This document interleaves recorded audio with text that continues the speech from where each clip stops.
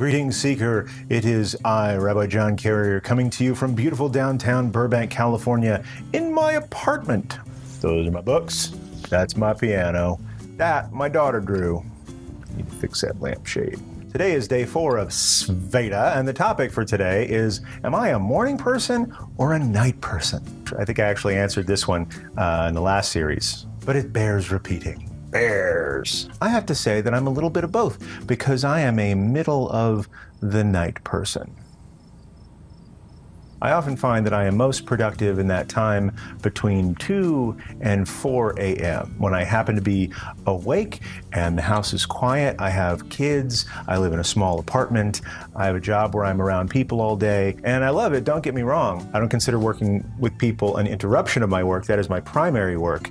However, when I'm focused on creating things like editing videos and podcasts, writing articles, uh, putting plans together, grant requests, things like that, I find that I'm most productive when the rest of the world is asleep.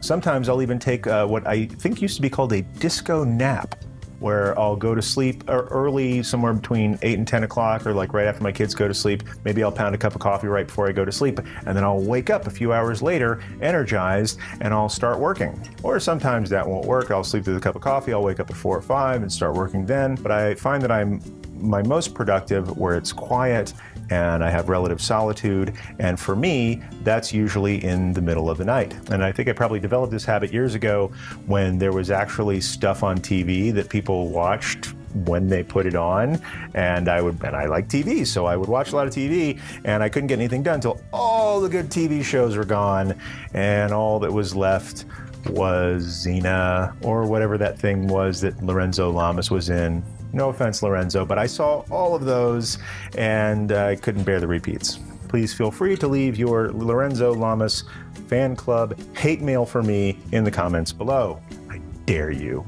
So that's when I developed this middle of the night work habit, and somehow it persists when I can watch pretty much whatever I want anytime I want because I'm a human being in the 21st century living in a privileged country where I have good internet, uh, an Apple TV, and a cable subscription. Like, seriously, that's on the list of my blessings. They're stuff way ahead of that on the list, but it's just like just so rich in blessings that it includes um, video on demand. But that's not the question you asked. Um, so I am a middle of the night person, which is technically both a night person and a morning person. So I win, or do I?